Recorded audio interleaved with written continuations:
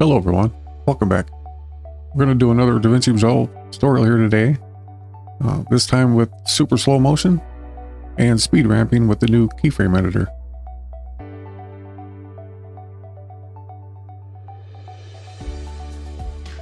I got a video of this guy jumping his bike. We're going to slow it down midair and smooth out the uh, transition from the slow motion to the 100%. Uh,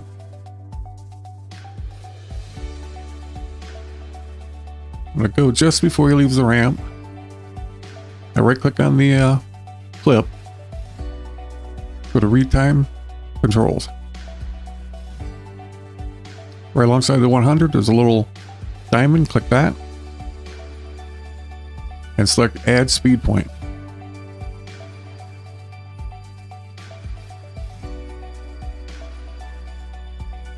I'm to take it to where he's just landing. Select the little diamond again. Add another speed point. Between these two points is where you're either going to speed it up or slow it down. Just grab the top handle. move to the left. You'll see it speeds it up.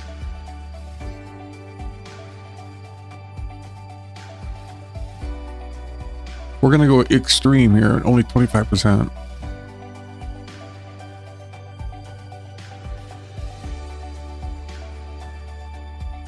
And we'll play back, see how it looks.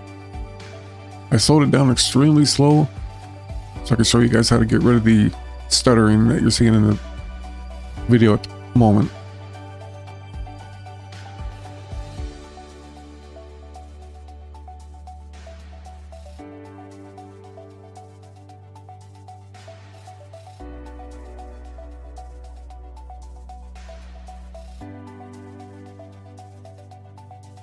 We go over here to retime scaling and select retime process and then optical flow. That does a pretty good job, but now it'll have to render out. So we'll give it a minute. Okay, we'll see what we have.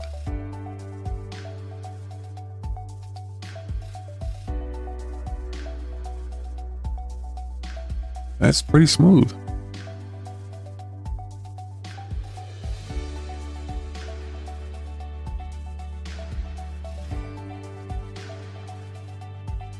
We'll go ahead and leave that.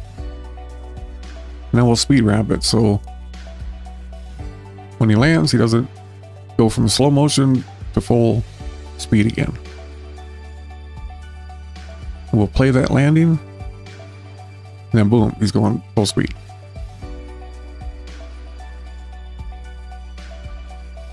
It's all done completely different now. I used to do it down here in the clip. Now we have a keyframe editor on edit page. I'm not extremely familiar with this yet, but I know enough to show you guys a little bit. You can select what you want, what you don't want here. If you go to the top left corner, you have two buttons. Well, three lines is what we're on now. There's a little arrow pointing down. If you select that,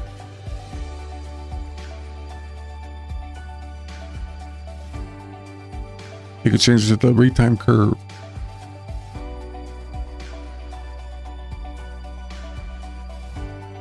If you move it over a little bit and select this icon, it opens it up in its own window. A little slider button up here. So you can move it to the right or left to make it longer or shorter. And you can highlight everything at one time. If I remember right, the old one you had to do one at a time. So we'll highlight them all. And you have options up here. Ease in, ease out, or ease in and out. We'll select that. Now I use a handicap controller I have to use my mouth to control all this. I'm finding these handles to be a little bit finicky. Probably be real easy for you guys. But you do have to click right on the dot and you can manipulate these and change the curve if you want. Like that. And if you notice when I change this one, it's changing this. I cannot grab these handles and do anything. It just does that.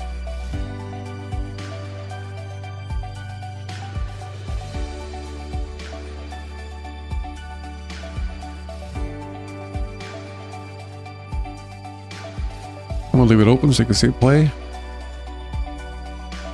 don't know if you can see the playhead or not, but we'll see see if it does.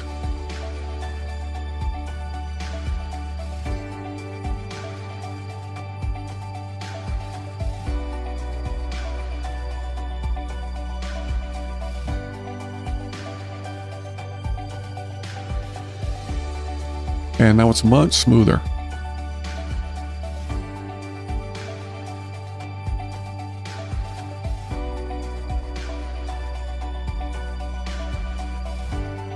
And we'll close the keyframe editor.